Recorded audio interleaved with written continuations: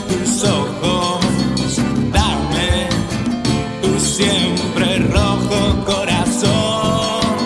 Siembra en mis manos la semilla de un gran árbol, que se arraigue, que se arraigue esta ilusión y que crezcan raíces uniéndose al centro, buscando el encuentro con nuestra utopía y que sane el desierto.